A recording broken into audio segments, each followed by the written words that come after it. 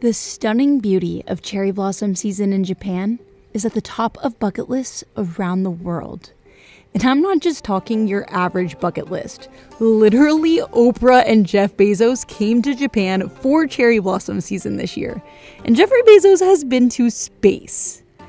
This season is fun and beautiful and exciting. But there's also a much deeper side that dates back centuries and is rooted in philosophy. So it was only fitting to start our cherry blossom viewing time here at Philosopher's Path. Philosopher's Path is in Kyoto, and in this madventure, we're gonna have the chance to see the cherry blossoms in Kyoto, Osaka, and Nagoya.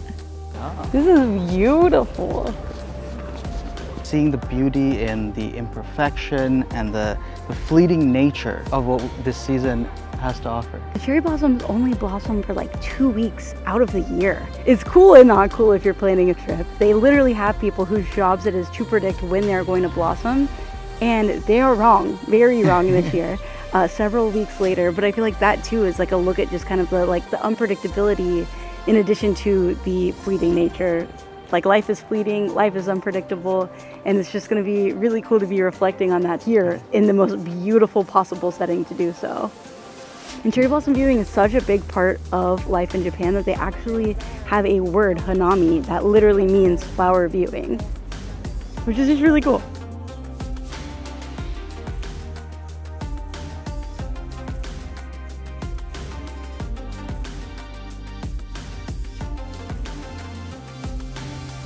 As we're taking in this beauty, it is so cool to realize that people have been practicing Hanami for over 1300 years. And one of the most classic ways to celebrate is with a Hanami picnic.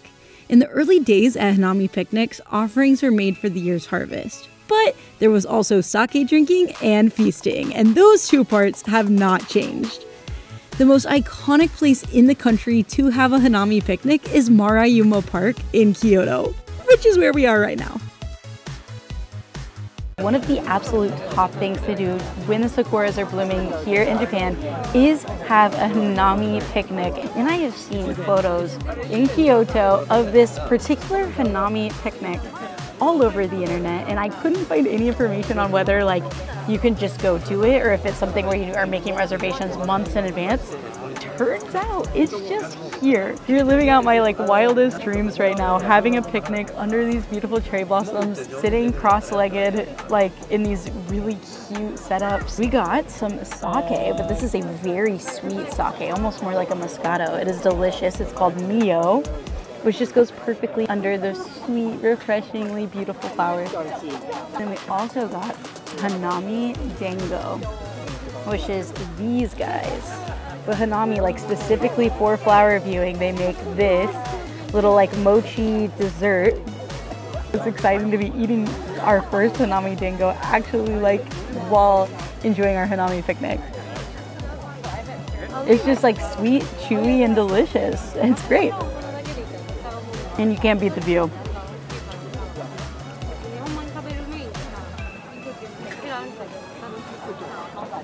Uh, here's a good view.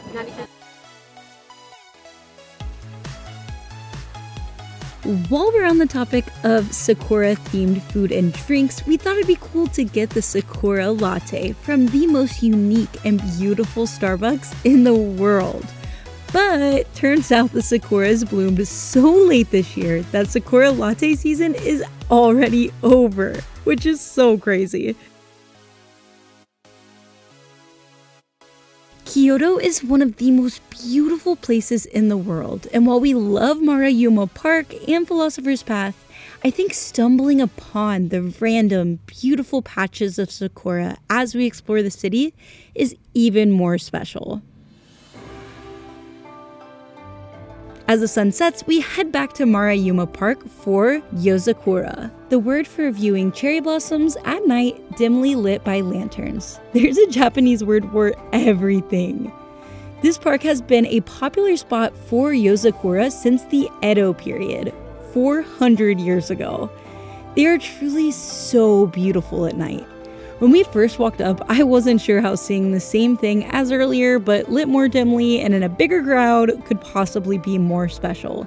But now we found a spot a little outside of the crowds, and the romance and the magic of this moment is so palpable. It reminds me of the power of changing my perspective, and seeing them at night reminds me how important it is to fully appreciate the beauty in life from every angle at all times of day.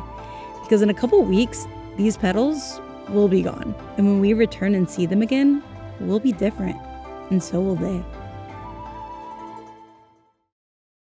Good morning from Osaka. It's a rainy day, but we can't let that keep us down because we only have a few days to enjoy the sakura before we have to leave Japan.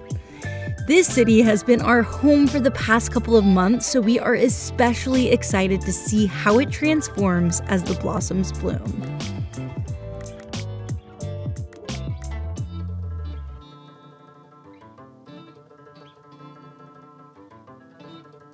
Are here at Osaka Castle and this might be my favorite cherry blossom spot so far, partly because it is so much less crowded than it was in Kyoto, which could be just because it is a very rainy day and we're some of the only crazy people that actually came out and decided to enjoy the great outdoors. Um, but it's absolutely stunning to see the cherry blossoms with the historic castle here in the background. We are watching Shogun on Hulu right now and uh, so it just makes like the history of the castle even more exciting because we're like literally currently watching a TV show where a lot of the major political events take place at this castle.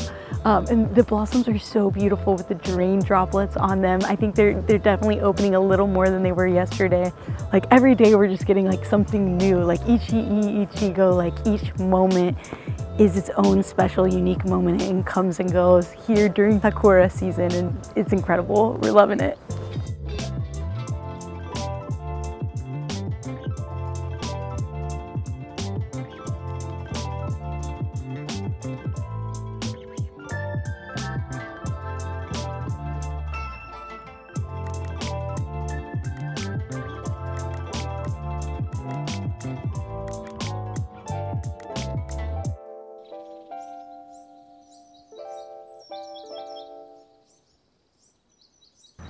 This is incredible.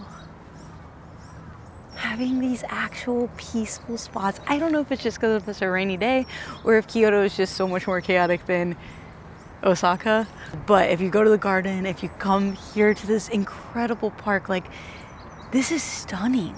And like part of wanting to experience the cherry blossoms is experiencing that peace. And you're getting that here in a way that we tried to capture yesterday and we definitely enjoyed yesterday so so much. Like i definitely still recommend seeing the beautiful cherry blossoms in kyoto but like getting to see them like this and actually feel the serenity is incredible.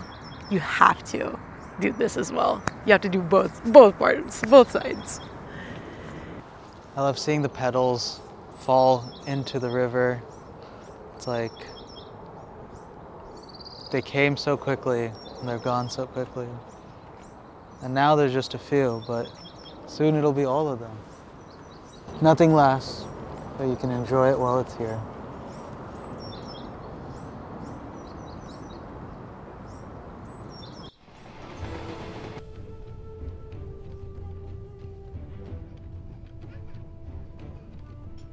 We have time traveled to Nagoya for peak bloom. And by time traveled, I just mean that we just actually traveled the normal way. We took a bullet train from Osaka to Nagoya this morning, and here the weather has been so much nicer. So, the flowers are at the peak of the bloom. It is absolutely beautiful. So many buds are opened up, and it's like Obviously Kyoto and Osaka are absolutely gorgeous and like the, the early blooming stages were beautiful too, but like this is absolutely breathtaking. I am so excited to be exploring peak bloom, baby.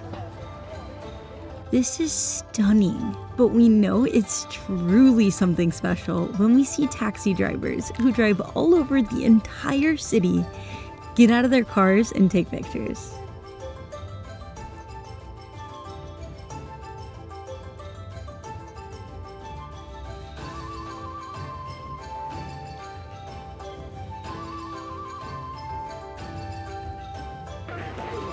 What? There's a deer in this moat. Scary moat protectors. Another day, another castle. This is Nagoya Castle, built in 1612. And inside his palace, we see cherry blossom artwork, which is such a cool reminder of the deep history of this Hanami tradition.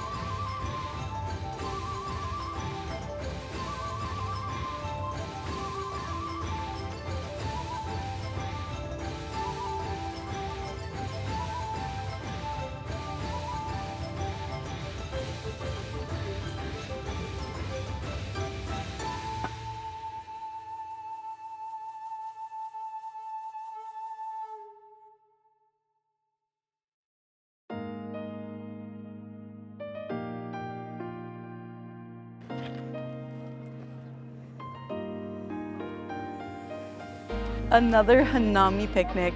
And this one I feel like is almost the most proper Hanami picnic so far because we are actually like on a mat.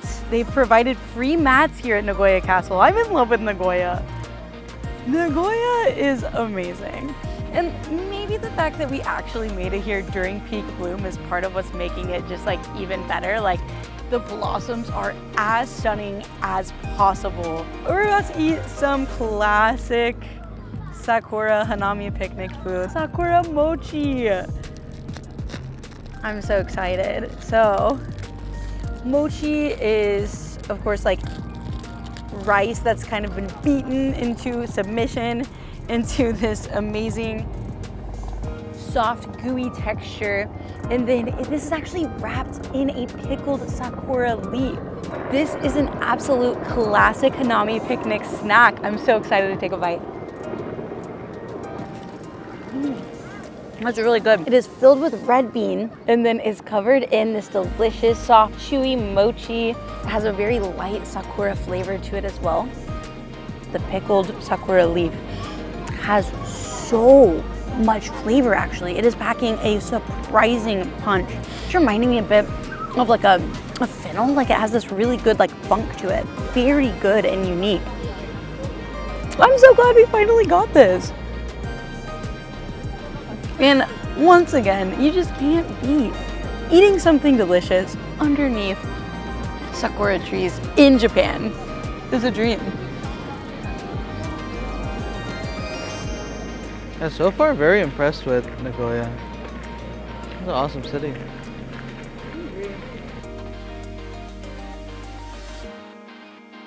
I think a big part of what's making our experience in Nagoya so awesome is that we're celebrating Hanami with locals. We actually feel like we're getting a peek into the community. And that is especially true at Tsuruma Park. Locals are camped out here with tarps everywhere, holding spots for their Hanami picnics later tonight. And there are so many food trucks. It's beautiful.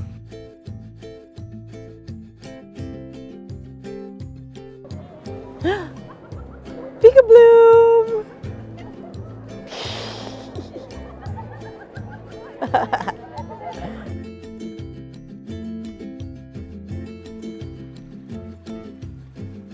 Our last stop is one of the spots I've been most excited for Four Seasons Road of Yamazaki River. This is considered one of the top cherry blossom viewing spots in the country, and I already think they're right. This is stunning. This spot is a little outside of the city and has more of a town feel. And it's so beautiful to see the locals going about their normal lives, biking home from work or working out under the sakura. And these high school kids. It's giving Blair Waldorf on the Met steps, but so much cooler.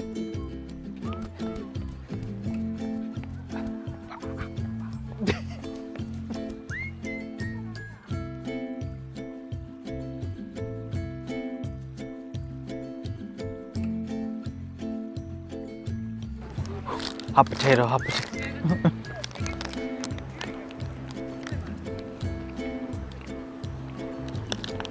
this is a really good sweet potato. I dare say the best one we've had yet. like sweet, caramelized. It's like a pound of it too. All of my Japan dreams are coming true right now. Potatoes have been our favorite snack like since coming to Japan. We get them at every convenience store that we see them in, almost every grocery store that we see them in. And my friends from Japan have told me that that doesn't count. you're only allowed to get them out of the back of trucks where they're cooking them over charcoal. So we've been looking for trucks that are selling sweet potatoes for months now. It happened. This is one of the best, most delicious things you can get. It's an $8 sweet potato. it's a very expensive Hanami picnic snack, but I mean, this is the perfect Hanami picnic dream.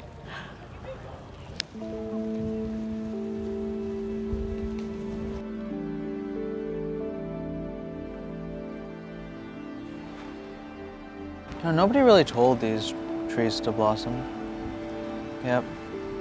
Thousands upon thousands of them blossomed at the exact same time, down to like the same day, Yeah. for no other reason than it's like the season to do so.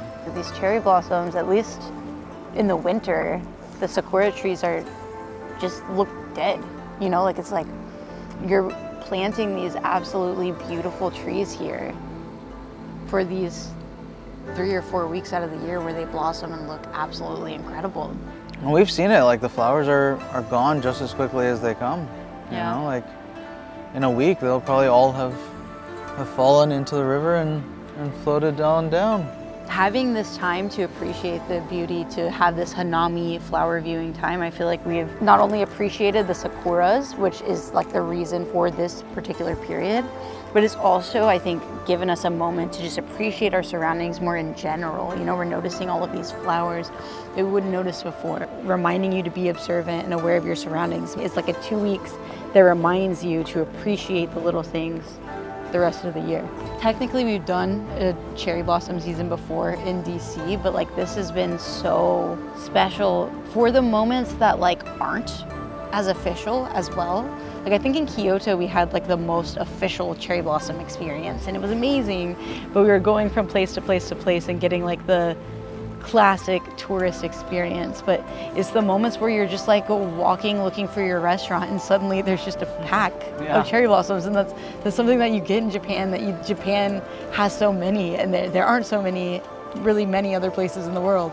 So it's, it's just like the random And like no one else up. is there. It's just Yeah. you and the cherry blossom tree. reminding you like you can carve your own path. Sometimes it's the special little things that you find for yourself that are the most rewarding. No. So many people are coming together from all over the world to celebrate and look at blossoming flowers. Mm-hmm. Something so simple and pure and natural and beautiful. Wow. I love that. That's so special. We have had an incredibly special few days filled with fun and excitement and reflection. I definitely see why even billionaires have this on their bucket list. We hope to experience the Sakura here again someday, but even then, this moment and these petals will be long gone. The trees will change with each passing day, and so will we.